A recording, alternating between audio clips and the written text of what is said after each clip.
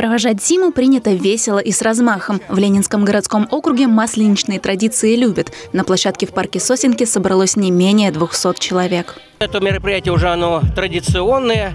Каждый год э, мы устраиваем здесь праздник Масленицы, угощаем всех жителей, кто приходит э, и блинами, вареньем, сгущенкой, чаем. Нам и погода способствует, и народу много, потому что мы провели большую работу, э, реклама была всего этого, приглашали всех, поэтому народ, в принципе, откликнулся и с нами празднует сегодня. Пришло много родителей с детьми, ведь игры в сосенках проводит любимый горожанами клоун Алекс, подготовивший много интересных соревнований.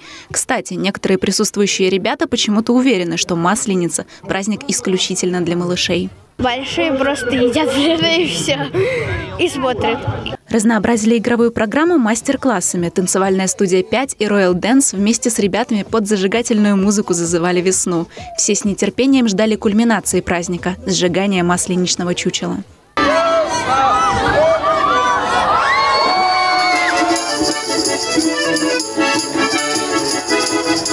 Масленица – праздник, символизирующий встречу весны. Наши предки искренне верили, что если не отметить этот праздник как следует, то можно навлечь на себя неприятности. Год будет неурожайный, да и весна сама придет поздно. На площадке в усадьбе Тимохова-Саласкина, кажется, об этой традиции знают. Задорные скоморохи и сама Масленица здесь развлекали гостей танцами и живой музыкой.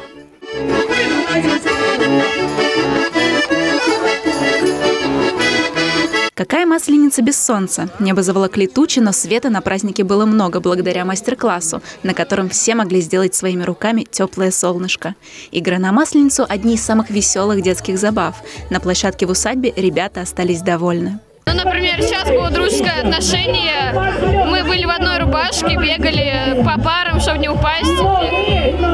Танцевали, ходили в работу. Без блинов представить масленицу невозможно. Гостям праздников Тимохова-Саласкина посчастливилось отведать любимое праздничное угощение, приготовленное Дмитрием Волковым. Блины пошли на расхват.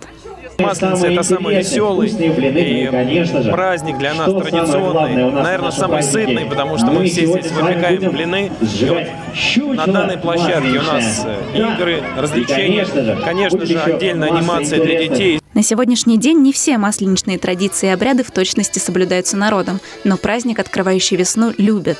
Румяные блины на столах – яркое тому доказательство. Александра Столярова, Сергей Ларин, Ольга Садовская. Видное ТВ.